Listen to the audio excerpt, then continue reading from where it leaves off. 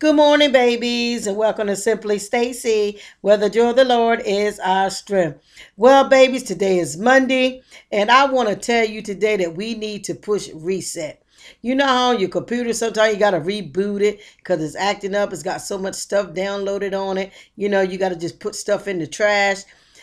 In our lives, in our mindset, sometimes we need to push reset to be able to move forward. There's some things that may have happened in the previous months. You know, we're almost halfway through this year.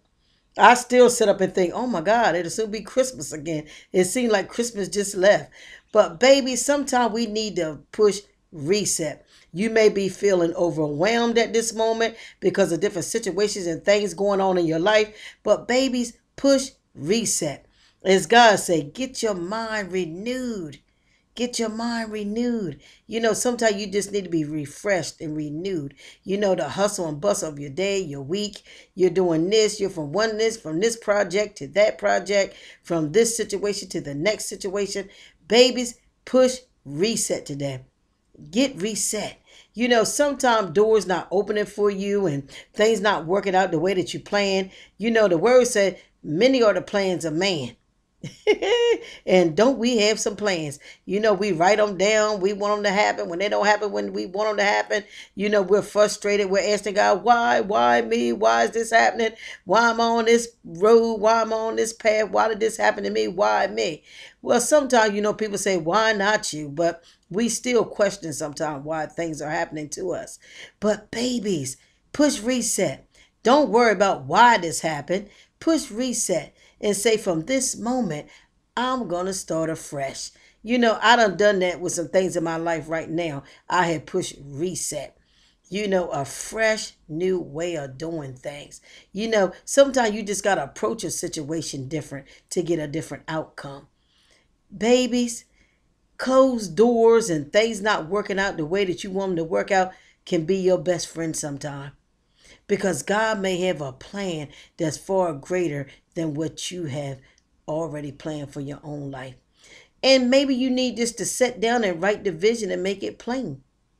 Like the word says, write your vision, make it plain. Do you know exactly what you want to do? Do you have a plan on how to get to where you need to get? You know, and make sure it's God's plan now, not just your plan. Make sure He you have consulted with him. He has given you direction. Write it down and make it plain. God will download to you what you need to do if you just ask Him. Babies, push reset today. Reset. Reset the things in your life. Reset your mind. Reset your spirit. You know, reset your mouth. You know, the things we speak in our mouth, we are creating in our life everything that you speak out of your mouth. Let your actions line up with your mouth if your mouth is speaking the right things. Babies, I love you and so does God. I just want to tell you today push reset, reboot your life, reboot your thoughts, reboot your spirit. Just push reset. Babies, I love you and so does God. Have a wonderful, wonderful day. Have a wonderful, wonderful week. Just begin to just see things anew, see things afresh. And you know, you may have to work all this week, but your day off, you know, just go somewhere and be in a quiet place with God and reset.